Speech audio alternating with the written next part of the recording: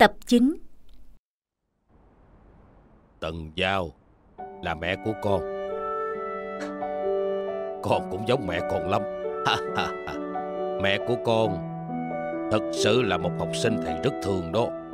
Đã lâu rồi không gặp nó. Gần đây nó khỏe không?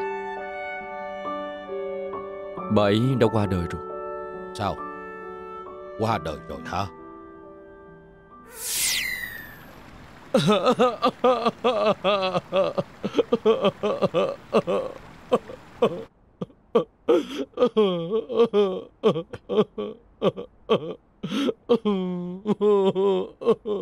Thầy cổ thì đừng đau buồn nữa mà Tôi đang cảm thấy rất buồn. Cứ để cho tôi khóc một lát đi. Vậy đi.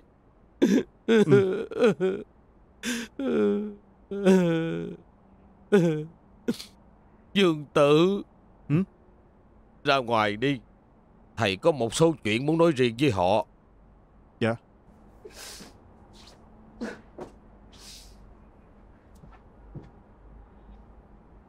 Tôi đã dạy qua rất nhiều học trò. Nhưng tôi chưa từng thấy người nào ngốc nghếch như mẹ của con vậy. Mẹ của con thiết kế chậm hơn người ta, cắt mai chậm hơn người ta.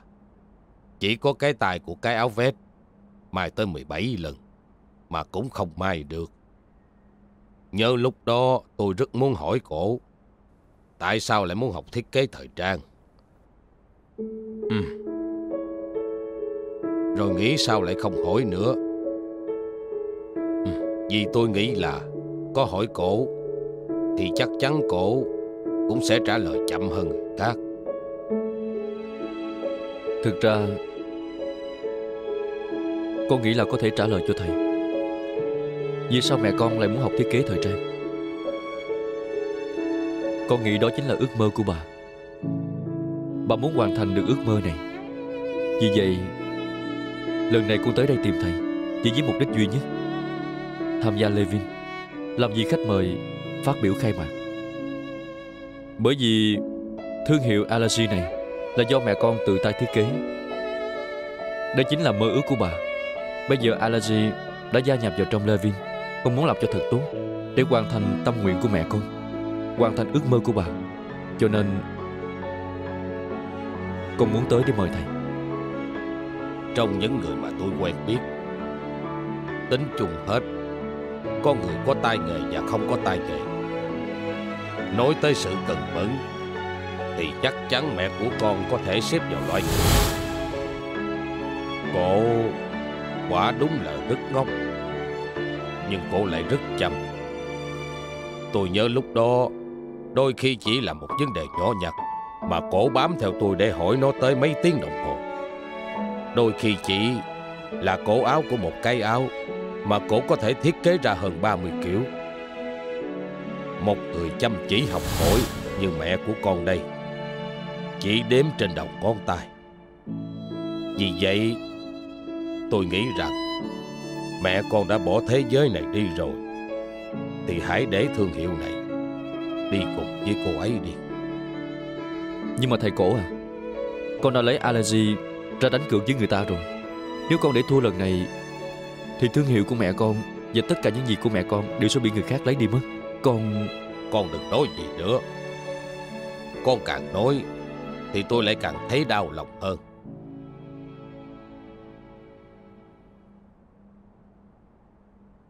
Đây là những bản phát thảo do mẹ con thiết kế. Tôi nhớ sau khi cổ tốt nghiệp, hàng năm cổ đều gửi tới những phát thảo cho tôi. Mỗi lần gửi hơn trăm tờ, thật đáng nể.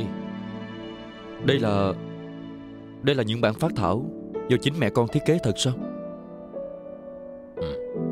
Nếu như thầy không cảm thấy ngại Thì con có thể đem những thứ này về không Một mặt thì Con giữ nó để làm kỷ niệm của mẹ Và mặt khác thì Con nghĩ nó sẽ trở thành Động lực cho con để bước tiếp Cho nên Con muốn giữ lại bản phát thảo này Con là con của cô ấy. Làm sao tôi có thể từ chối được chứ? Đem về đi, giữ làm kỷ niệm. Nhớ giữ gìn Cẩn thận đó. Con cảm ơn thầy cổ. Nhưng mà con muốn hỏi thầy một chuyện. Có phải là thầy cổ thực sự Không thể tham gia buổi lễ khai trương của Levin Làm khách mời danh dự hay không? Đã nói với con rồi. Tôi đây không thay đổi quyết định của mình đâu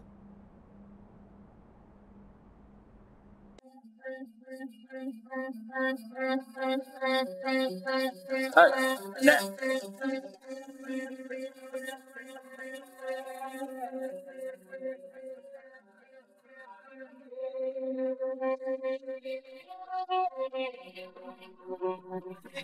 Ê, ê, Không được qua đây. Thầy cổ quyên bá Nếu như thầy không đồng ý tham dự Levin Làm khách mời danh dự trong buổi lễ Thì Lộc Tiểu Quy sẽ nhảy từ đây xuống dưới đó đó. Ê đừng. Hai người làm như vậy Là uy hiếp tôi đó.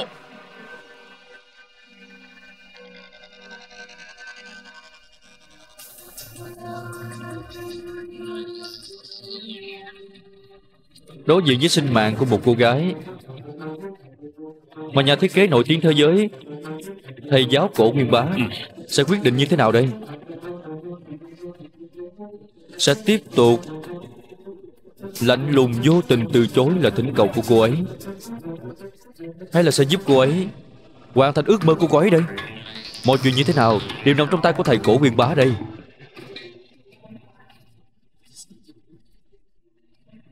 Cô gái đã buông lỏng ngón tay út bên cánh tay trái của mình rồi, Và bây giờ Bây giờ cũng bên cánh tay phải Buông lỏng ngón áp út.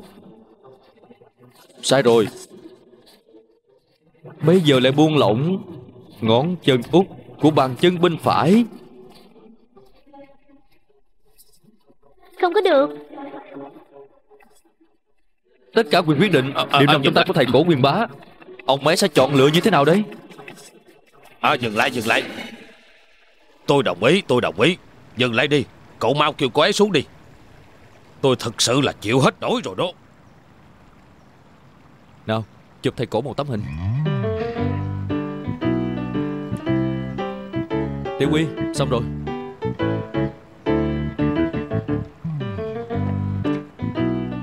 Thầy cổ à Hợp tác vui vẻ.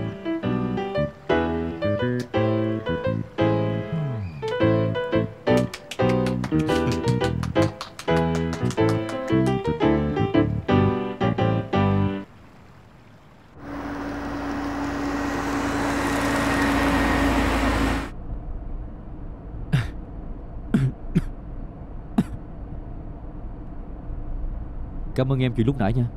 Thật không ngờ em cũng có lúc thông minh nhạy bén đó. Cảm ơn gì? Hả? Em sao vậy? Không có gì. Sao lại không cẩn thận chứ? Nếu diễn viên quần chúng nào cũng bất cẩn giống như em Thì đoàn làm phim mất bao nhiêu tiền diễn phí chứ? Không sao đâu Về nhà rửa tay là ổn thôi. Nhưng mà bây giờ cần phải tới bệnh viện đã. Ừ. Anh vẫn còn sốt đó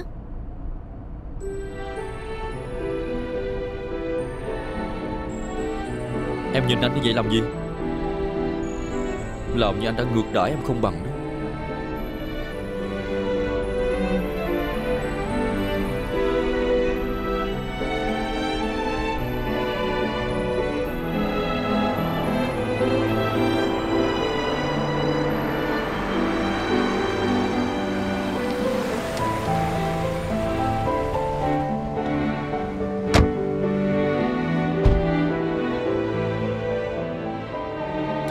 biển làm gì vậy? Dù gì tối nay cũng không có gì làm Ra bờ biển hóng mát cũng tốt mà. Tại sao anh không tới bệnh viện trước?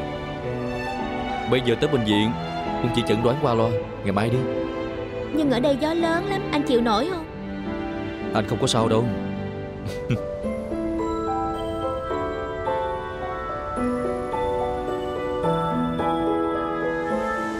Anh có biết không? Hôm nay em cảm thấy vui lắm. Vì được gặp thầy cổ uyên bá Thầy ấy ở đây đã rất lâu rồi.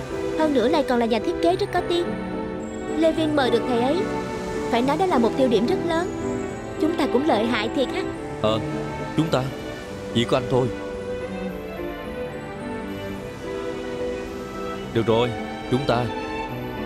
Nể tình em hôm nay Đã góp rất nhiều công sức. Thượng Bạch Nhiên Cảm ơn anh ha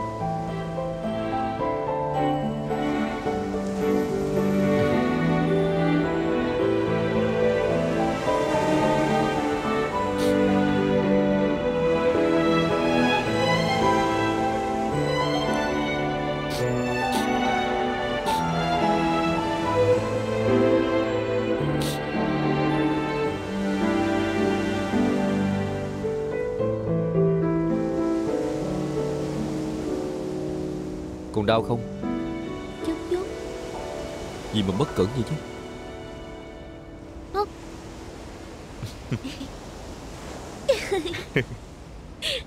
Đổi, đổi tờ khác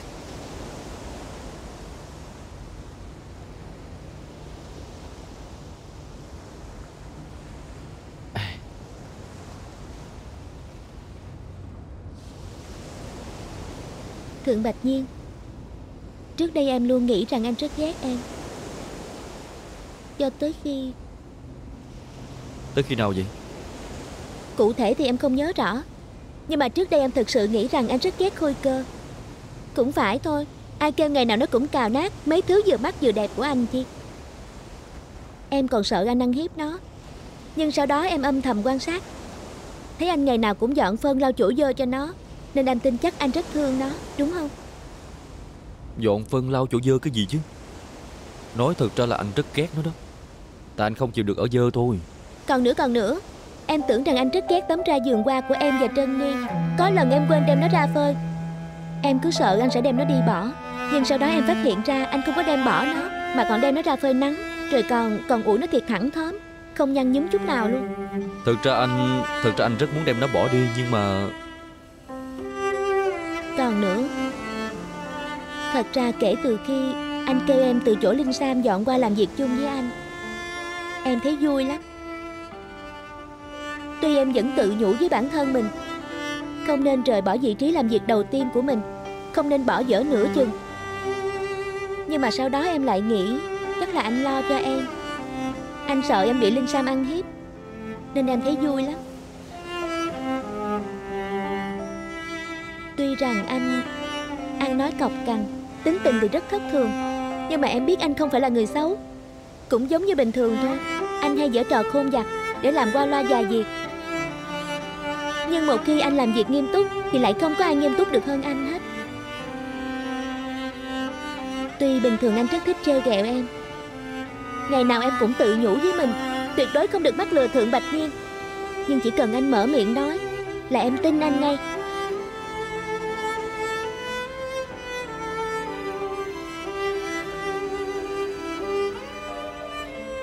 Thượng Bạch Nhiên. Em cũng không biết tại sao nữa. Nhưng mà Tất cả những gì anh nói em đều tin hết. Tất cả những gì anh kêu em làm, Em đều làm hết mình.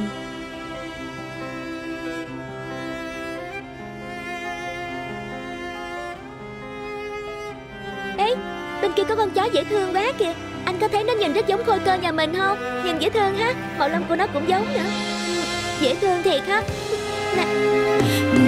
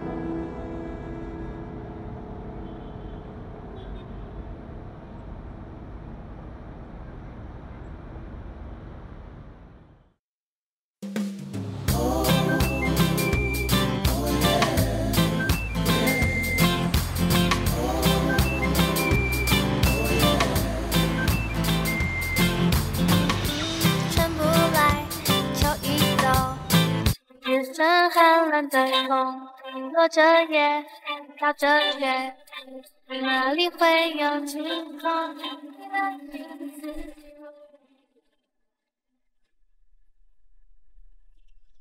Chào Thượng Tổng Chào buổi sáng Anh ấy đang nói chuyện với mình sao Hay là anh ấy đang nghe Bluetooth Ừ Xin chào Thượng Tổng Ê, Chào anh Chào anh Hôm nay có mình anh trực thôi sao Phải Ờ, Chỉ có một mình tôi trực ban Ờ, Thượng Tổng có gì dặn dò không? Vất vả rồi. Không vất vả Không vất vả Mở cửa ra đi.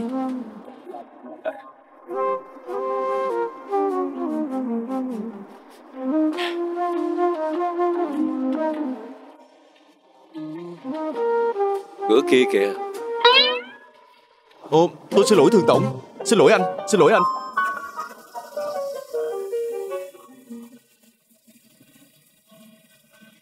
Tại sao mới sáng sớm Mà mình lại vui như hoa nở vậy kìa? Tôi nổi tay chân luống cuốn cả lên.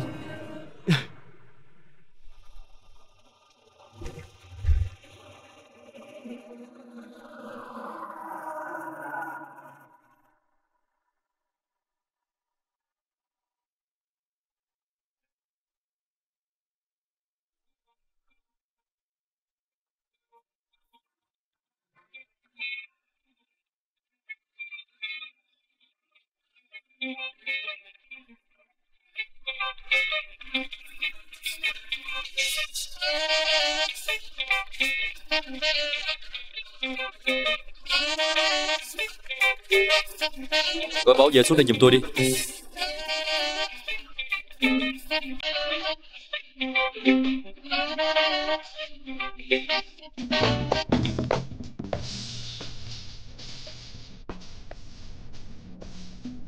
Chuyện này là sao đây?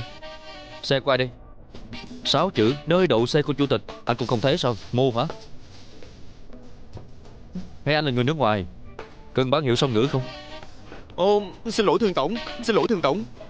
Tôi tôi mới tới làm Tôi không hiểu chuyện Xin lỗi tôi. À, Tôi à, Bây giờ tôi sẽ cho người đưa xe của anh vào đi ngay. Anh có cách gì? Tôi ừ, Được rồi. Ừ. Lát nữa chủ xe này tới thì đưa xe của tôi vào đây. Anh làm cho tôi cái bản hiệu Nơi đổ xe cao cấp Mỗi tiếng thu phí 888 tệ. Tiền lẻ cũng lấy. Ờ, Dạ được Dạ được. Vất vả rồi.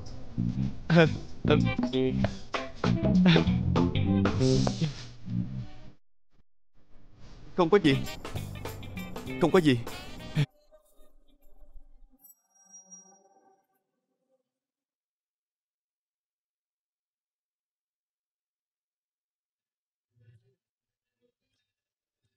Đứng đó làm cái gì? Vào đi. À, Thượng Tổng à, anh lên trước đi. Chúng tôi không có dội lắm đâu. Không vội gì chứ Sử dụng tài nguyên cho hợp lý Bảo vệ trái đất Bắt đầu từ tôi. Vào đi. Ừ,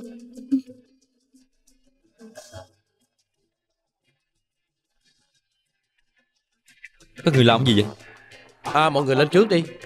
Nhanh lên vào hết đi. Vào đi. Vào đi vào đi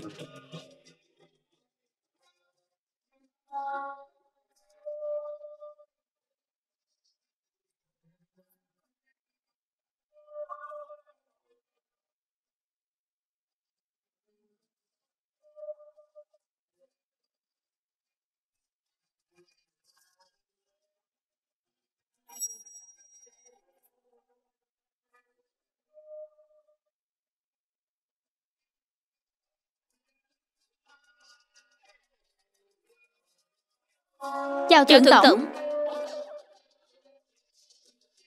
Vào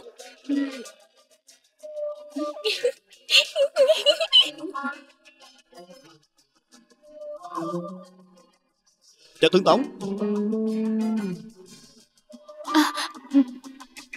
Dạ xin chào Thượng Tổng. Không có gì Lucy Ờ, dạ Thượng Tổng, tôi không phải Lucy, tôi là Lily. Chị Lucy đâu? Ừ, Công ty chúng ta không có ai tên Lucy hết.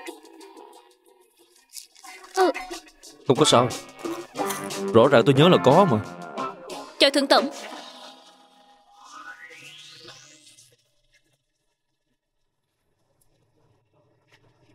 Tiểu Bang Tôi rất thích thiết kế của anh. Nhưng mà anh cần nâng cao gu thời trang của mình lên một chút nữa. Hôm nay anh mặc như vậy là không được đâu. Không mặc áo sơ mi. Thượng tổng Tôi mới là tiểu bàn Vậy còn anh ta? Anh ấy chỉ tới sửa máy tính thôi à. Chào anh. Tôi tin ở anh. Cảm ơn. Chào Thượng Tổng. Ừ. Victoria. Chào Thượng Tổng. Cô là Victoria. À đúng rồi. Tôi đã nói mà Mới sáng sớm mà nhìn thấy người quen Thì tâm trạng sẽ thoải mái như đang ở nhà vậy đó.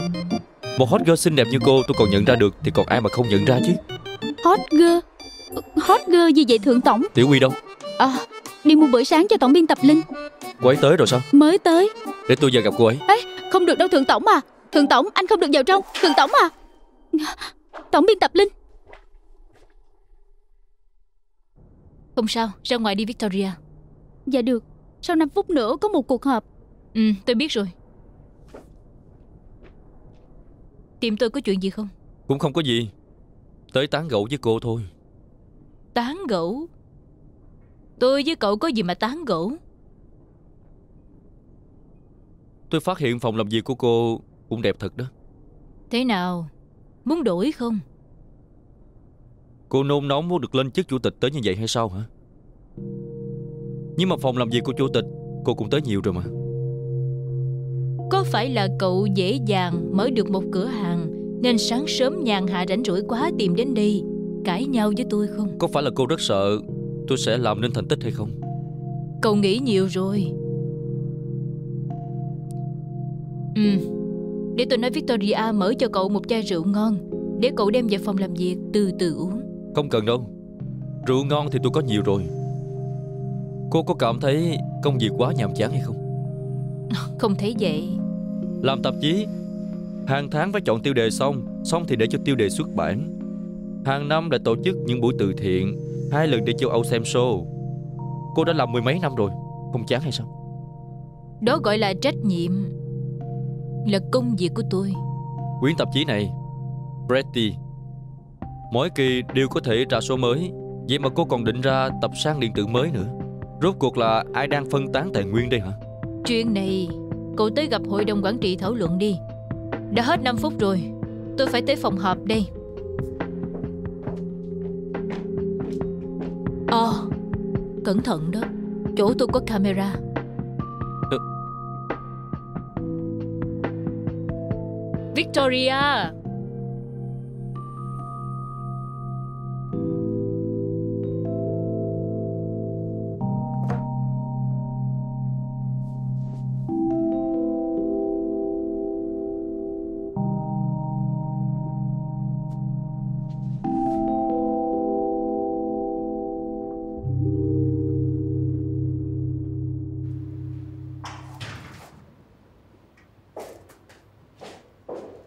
Cô đã tới trễ. À, Thượng Bạch Nhiên Mới sáng sớm tới văn phòng của tôi Gây sự với tôi. Lớp trẻ đúng là năng lực dồi dào mà. Tổng biên tập Linh Trang web có chút vấn đề. Hai người đợi một lát nha. Ờ không sao. Đúng lúc Tôi muốn tán gẫu với biên tập Linh.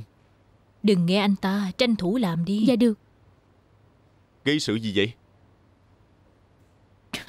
Tôi đoán cậu ta chê chúng ta đã quá tuổi rồi Không hợp với những thứ mới mẻ Ý tưởng mở một cửa hàng với nhiều thương hiệu của cậu ta Cũng là xu hướng mới Không giấu gì cô Tôi cũng đã từng nghĩ tới ý tưởng này rồi Có thật không vậy? Cũng mơ mở cửa hàng sao? Tiềm năng của thị trường bán lẻ thật sự rất lớn Mỗi kỳ tạp chí của chúng ta Đưa ra sản phẩm nào cũng đều bán rất chạy Nếu như mở cửa hàng dễ như vậy thì ai cũng làm hết. Bộ anh quên, trước đây anh Larry đã mở hàng trăm cửa hàng sao? Nhưng mà sụp đổ, mở cửa hàng không phải là chuyện dễ.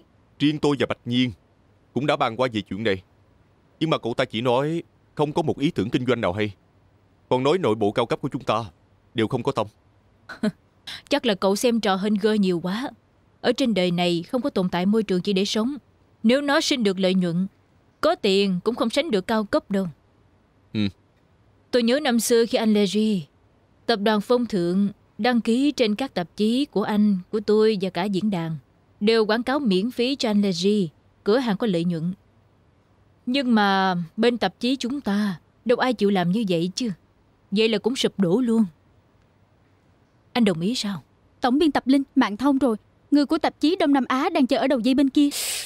Cô Linh anh Hàng chào hai vị Chào anh. Ờ, xin chào Trước đây chúng ta đã bàn về chuyện Ký hợp đồng phát hành hai tạp chí Quý Ngài và Pretty ở Đông Nam Á Vậy mà sao tới giờ vẫn chưa được ký vậy Ờ, vì bên phía tôi có điều kiện đi kèm. Là gì Tôi mong rằng anh tiện thể đẩy mạnh quảng cáo ấn phẩm điện tử mới của tôi trên mạng lưới khắp Đông Nam Á. Younger.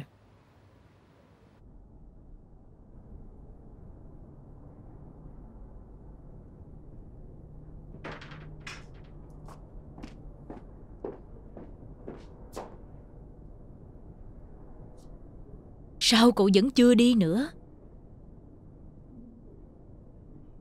Đợi cô về lâu quá Buồn ngủ Nên chợp mắt một chút thôi Xem ra cậu đúng là có chuyện quan trọng cần bàn với tôi rồi đó. Nói đi, đó là chuyện gì đây? Tôi muốn cùng cô thảo một hiệp định quân tử Chỉ có giữa hai chúng ta Không bên nào can thiệp bên nào Và không được gây rối Cửa hàng của cậu nó không đáng để tôi đến gây rắc rối đâu.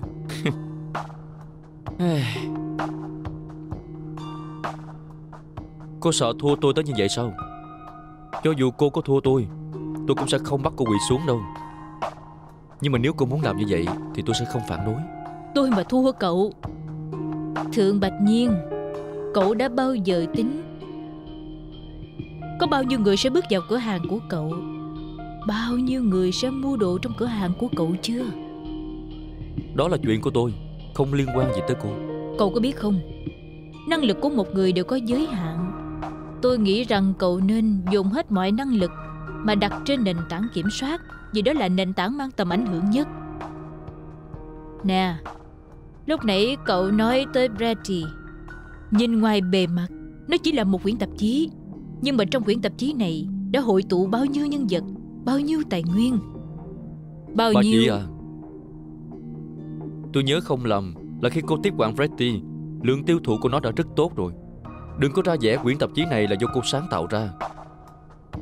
Cô cũng chỉ là hưởng bóng mát của cây do người khác trồng mà thôi. Làm trâu làm ngựa bên cạnh của ba tôi bao nhiêu năm qua Mới kiếm được một chút cổ phần mà thôi. Tôi muốn mời cậu ra khỏi đây. Cô không mời Tôi cũng sẽ ra khỏi đây. Cô không thấy phòng làm việc của cô hôi lắm hay sao?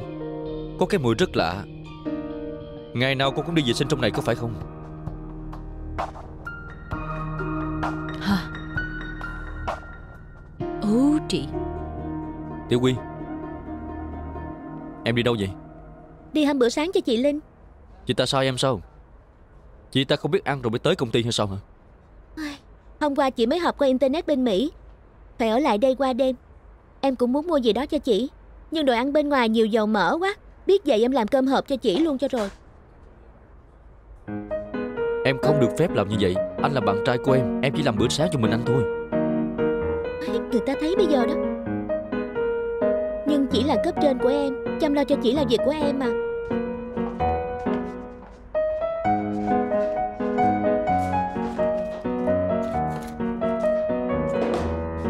Tổng biên tập hàng đã ăn chưa? Có cần đem qua một phần cho ảnh không? Làm sao anh biết được chứ? Anh đâu còn là trợ lý của anh ta. Vậy anh qua hỏi thăm giùm em Coi ảnh có thiếu trợ lý không? Em có thể làm hai việc cùng một lúc. Tóm lại là em đồng ý tăng ca cho ảnh. Lộc Tiểu Quy Em nghĩ nhiều quá rồi đó. Anh nghĩ là em nên bỏ việc thì hơn. Anh bị sao vậy? Chủ nghĩa đàn ông lại tái phát rồi hả? Sáng nào em cũng làm bữa sáng cho anh đã đủ vất vả lắm rồi. Còn làm cho họ sao? Hơn nữa Làm cũng chưa chắc họ nhận đâu. Mỗi ngày làm bữa sáng cho anh Em không mệt Mà em còn thấy rất vui nữa. Trước đây anh cũng đâu có thích ăn sáng Nhưng mà bữa sáng lại chính là bữa ăn quan trọng nhất trong ngày. Ăn đầy đủ, ăn đủ no Thì mới có thể đảm bảo sức cho một ngày Được làm rồi, việc. được rồi, được rồi. Bây giờ anh phải làm một việc rất là quan trọng. Không giống một trợ lý giống như em. Rảnh rỗi quá đó. Mau đi đi. Cố lên chân quán quân. Nói lại. Chân quán quân. Nói lại. Chân quán quân. Nói lại. Chân quán quân. Ờ ngoan Giỏi đó. Hôm nay cùng ăn cơm trưa nha. Không có được. Bây giờ thân phận của anh khác rồi. Nếu cứ quanh quẩn bám theo trợ lý quèn như em thì kỳ lắm đó. Có gì đâu mà kỳ chứ. Có người nói này nọ hay sao? Bây giờ anh đã là sếp của họ rồi. Nếu có chuyện này Anh sẽ sa thải hết. Được rồi, vậy trưa nay anh ghé qua kêu em Nhưng đừng lên tiếng. Em chỉ cần anh nháy mắt ra hiệu là được rồi.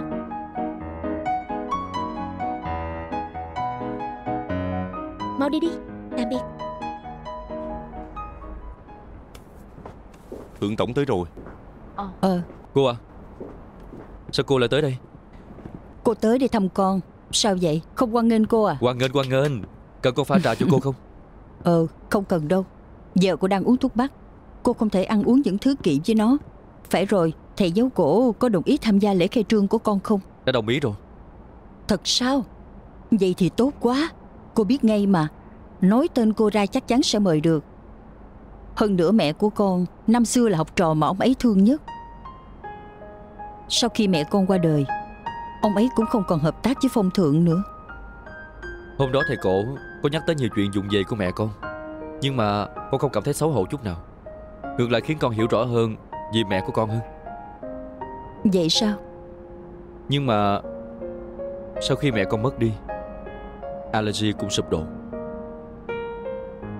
Nhắc tới chuyện này, Cô luôn tự trách mình, Luôn ấy nấy Sau khi mẹ con qua đời, Một mình cô gồng gánh allergy.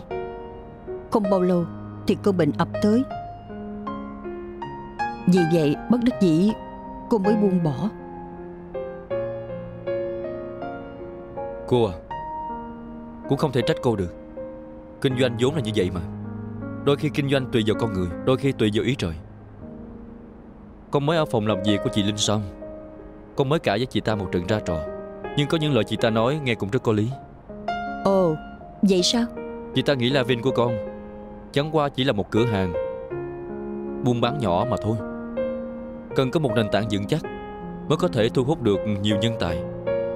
Vì vậy con nghĩ Con đang thiếu một tổng giám chế thiết kế thời trang. Người này sẽ quản lý tất cả nhà thiết kế của con Nắm từng chi tiết Nhưng cho tới bây giờ Con vẫn chưa tìm được người thích hợp cô à À Cô đã nghĩ ra một người rồi. Cao Mân có được không? Cậu ấy cũng rất giỏi. Trời ơi Bạch Nhiên Tại con không hiểu cậu ấy thôi. Cô tin rằng hai đứa làm chung với nhau một thời gian Ngày tháng dần trôi Sẽ dần dần thấy quý nhau hơn. Thậm chí Hai đứa còn có thể thích chung một thứ nữa đó. Ai thèm thích chung một thứ với anh ta chứ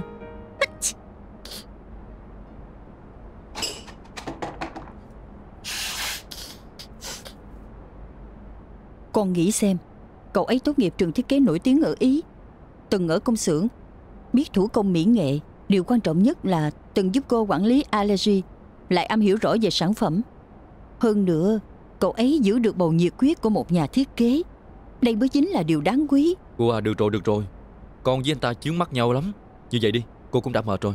Để con đưa cô về nghỉ ngơi Nè, nha. Đợi đã. Cô vẫn chưa nói hết. Con không có hẹn hò với cậu ấy Cũng không cần phải thích cậu ấy. Hơn nữa con đừng quên Con là sếp lớn của cậu ấy. Con đừng làm khó cậu ấy là được. Ồ phải rồi. Cô còn một chuyện này muốn nói với con. Về một số cổ phần 10% Con có từng nghĩ tới Sẽ phải điều tra xem ở đâu không? Cổ phần 10% đó Vẫn còn niêm phong bên luật sư. Con đang rất muốn có người nào đó Đứng ra lãnh số cổ phần 10% này đi. Để còn dễ bề Quyết đấu một trận với Linh Sam Vậy là con có phim hay để xem rồi. Trẻ con quá. Tóm lại là Con nhớ kỹ chuyện này là được. Được rồi không làm phiền con nữa. Cô về đây. À để con tiễn cô. Không cần, Cần được cần rồi. cần. Con phiền phức vậy mà tiễn cô sao? Tiễn tiễn tiễn. Thượng tổng à Để tôi làm cho. Không cần ông đâu Ông đẩy chậm lắm. Thượng tổng à Cho tôi kiếm cơm nữa. Ông mập như vậy còn muốn ăn nữa sao?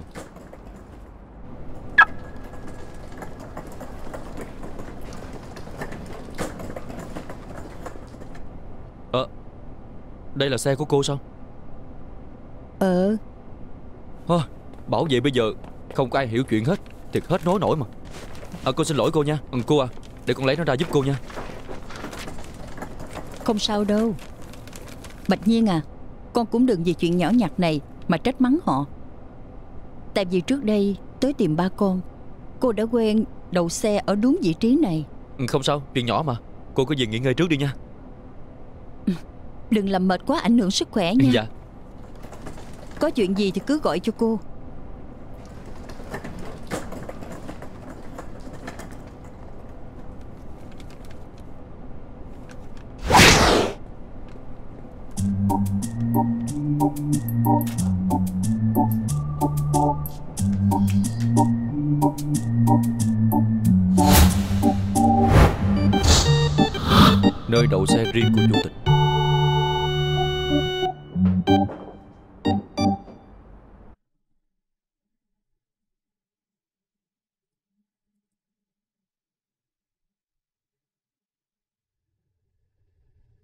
Cao Mân Thiết kế cá nhân.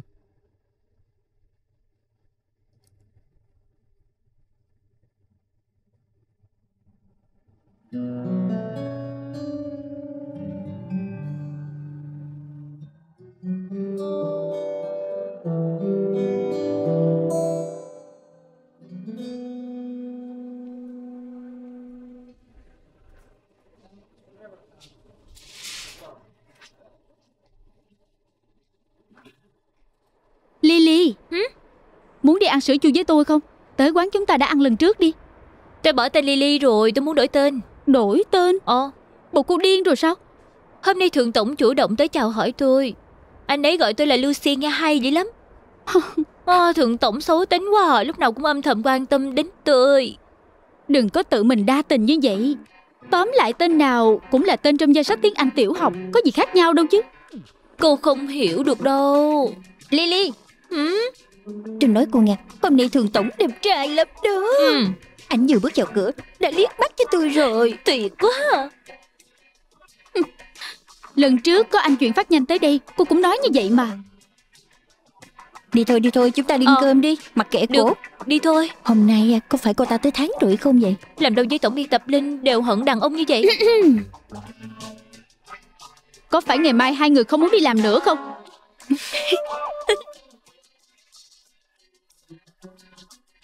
Tiểu Quy. Cô có muốn đi ăn với tôi không? À cảm ơn chị nha. Hôm nay em có đem cơm hộp theo ăn rồi. Vậy thì thôi. À hay là ngày mai cùng đi ăn ha? Ngày mai chị có rảnh không? À không được ngày mai chị có cuộc họp rồi. Hay là ngày mốt đi. Hình như ngày mốt cũng không được. Ngày mốt có tiệc chung của phòng rồi. À, Để em xem lịch của chị đã. Chị ơi năm ngày sau chị mới rảnh Vậy năm ngày sau em mời chị đi ăn trưa ha. Tính sau đi ha. Hả?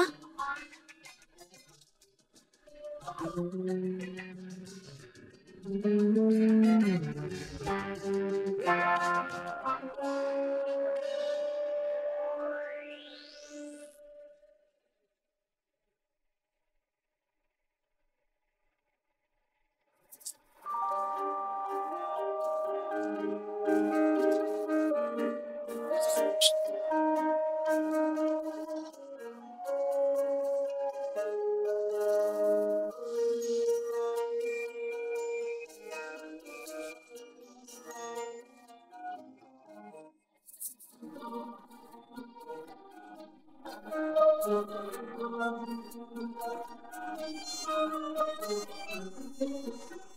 ăn chung với em luôn đi.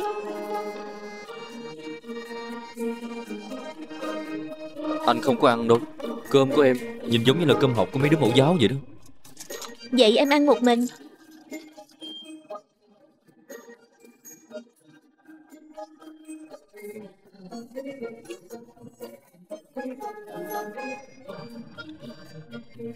Em đừng chỉ lo ăn nói chuyện với anh một chút đi. Vừa ăn cơm vừa nói chuyện Không tốt cho tiêu quá Anh nói đi em nghe nè. Được rồi.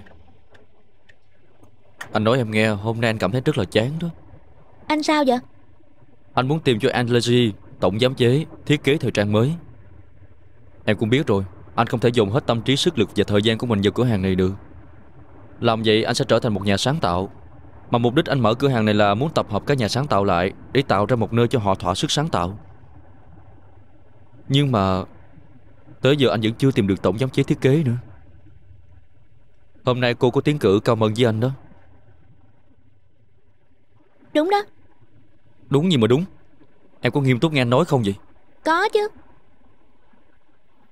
Em cảm thấy Cao Mân là người thích hợp nhất.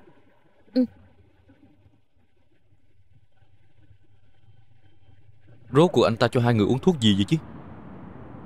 Không có. Em quen biết Cao Mân từ nhỏ lận. Em nói cho anh nghe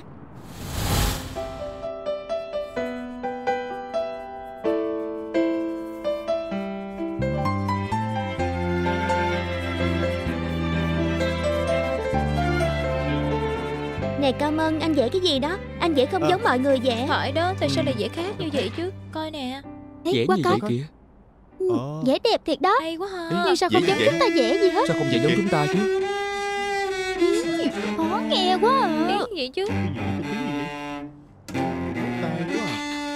Ồn quá đi. Ồn ào thiệt. Không thấy được gì hết. Mà công nhận đẹp thiệt nha. Từ nhỏ Cao Mân đã theo đuổi ước mơ của mình. Cho tới tận bây giờ Anh ấy tài giỏi thiệt mà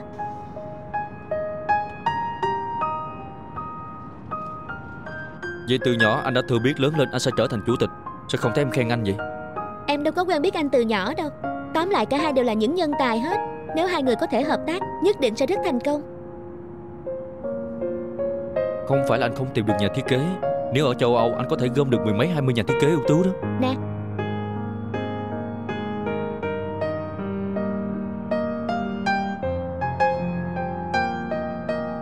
Em làm rớt miếng rau dưới chân của anh đi nè. Em ăn đi Em ăn thật sao? Thêm miếng nữa nè.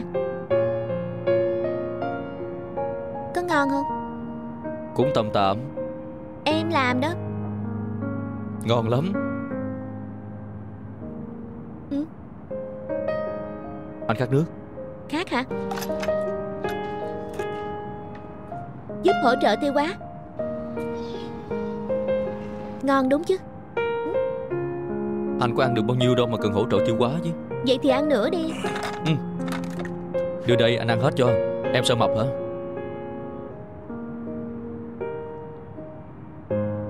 Vậy chúng ta ăn chung nha. Anh đút cho. Khi nào anh mới đi tìm Cao Mân vậy? Để xem tình hình đã